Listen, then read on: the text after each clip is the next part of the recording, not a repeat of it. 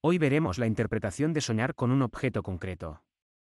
Dale a me gusta y síguenos. Los sueños suelen caracterizarse por un clima de simplicidad.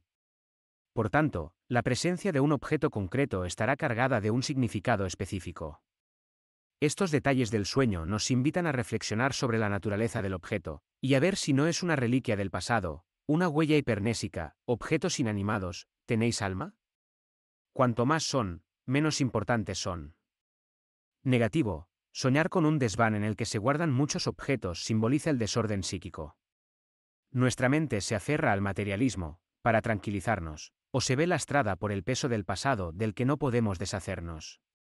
Positivo, el objeto es a veces también una meta hacia la que debemos esforzarnos, un objetivo. Este significado se confirma con la presencia de un único objeto que contemplamos. Su simbolismo, que debe ser observado, nos remite a una dirección o a un estado interior. También se plantea la cuestión de si hemos sido objeto de alguien o de atención, que no es lo mismo. La ambivalencia del significado debe tenerse en cuenta e influir en la interpretación de este símbolo. Esta ambivalencia se encuentra en el lenguaje de la psicología. La palabra objeto, peyorativa para referirse a una persona, por su raíz latina, significa colocado delante o en el frente.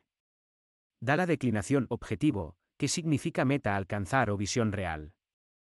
Por el contrario, la palabra súbdito, que se supone que es positiva para una persona, significa estar por debajo, sumiso. ¿No es mejor ser objeto de deseo que sujeto de su majestad? Más interpretaciones de sueños en 3W. Significados. Gratis. Gracias por llegar hasta aquí, ten un gran día.